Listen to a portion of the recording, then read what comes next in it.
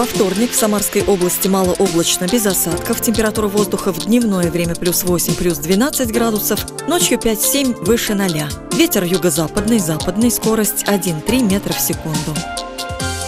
В Сызрани облачно, днем плюс 12, ночью плюс 7. Ветер юго-западный, скорость 3 метра в секунду. В Тольятти солнечно, днем 8 градусов, тепла ночью 5 выше 0. Юго-западный ветер 2 метра в секунду. Самаре солнечно, днем плюс 7 градусов, ночью плюс 3, ветер юго-западный 1 метр в секунду, атмосферное давление 751 миллиметр ртутного столба. Влажность воздуха 69%, в геомагнитном поле небольшие возмущения.